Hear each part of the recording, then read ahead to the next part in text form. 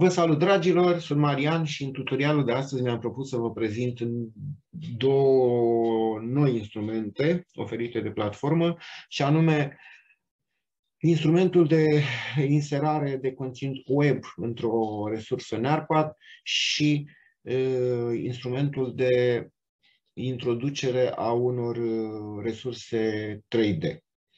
Deci, să-i dăm bătaie.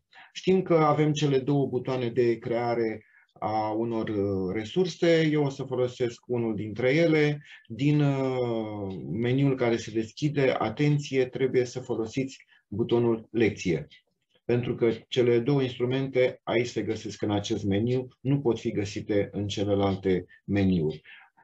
Uh, o să folosesc meniul lecție, ajungem într-o interfață care ne este arhicunoscută. O să spun un titlu uh, lecției mele despre animale preis, preistorice. L-am salvat, dând click în afară. Uh, pentru a adăuga conținut și activități, folosesc acest buton. De fapt, nu am o altă variantă din uh, fereastra ce se deschide, pe noi ne interesează aceste două instrumente, conținutul web și biblioteca 3, 3D.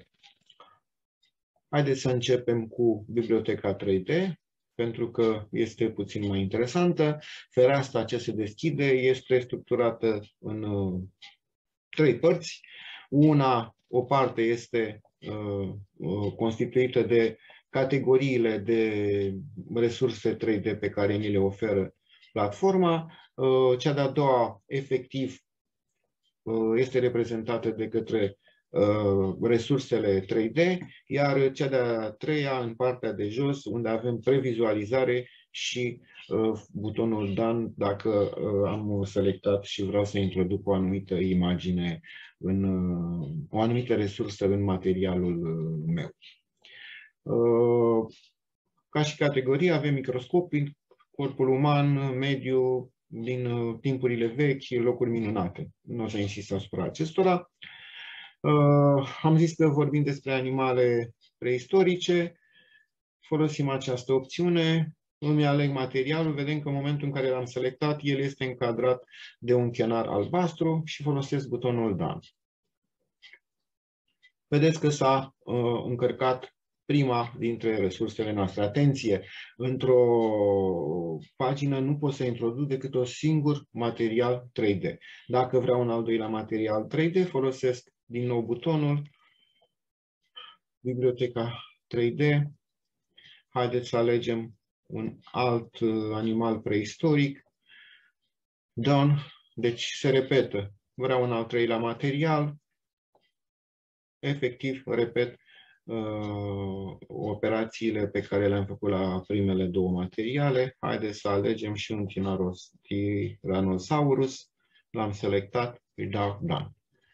Și în felul acesta avem în materialul nostru din uh, NARPAD trei imagini 3D. Am spus că vreau să introduc și conținut web tot ceea ce am de făcut este să folosesc în continuare butonul adaugă conținut și activități și merg la web content. E, aici, efectiv, eu trebuie să scriu adresa acelui, acelei pagini pe care, de pe internet pe care vreau să o folosesc în resursa mea.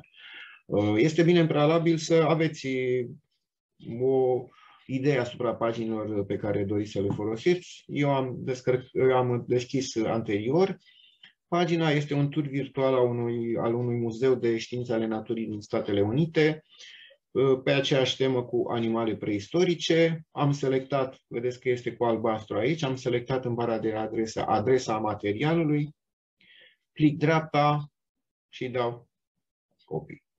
Merg în resursa mea, scriu aici, de fapt scriu lipesc,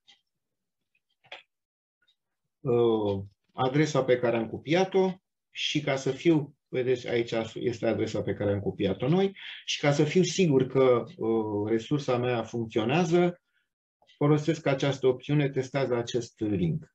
Haideți să-l testăm și noi, să vedem dacă funcționează. Pagina se deschide. Putem să facem un tur virtual în ea.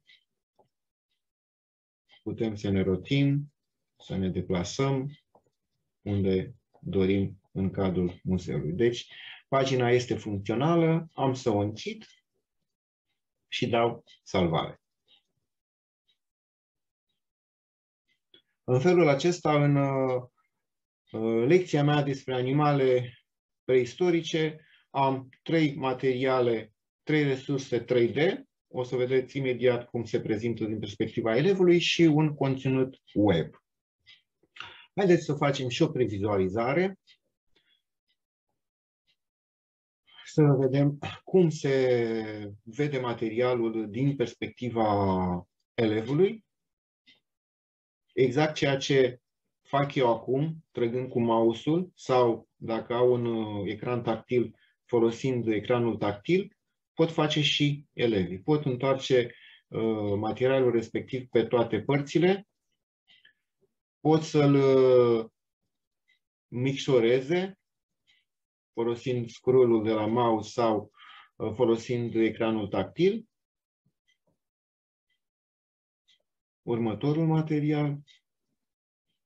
Da? Și am ajuns la conținutul uh, de internet pe care l-am introdus în materialul meu. E, aici, ca să activez conținutul, efectiv trebuie să folosesc acest buton, click here to open web page. Deci trebuie să folosesc acest buton ca, să, ca platforma să mă redirecționeze pe pagina respectivă. Am să fac click, se deschide o nouă fereastră cu Muzeul Natural, Muzeul de Științe Naturale din Statele Unite.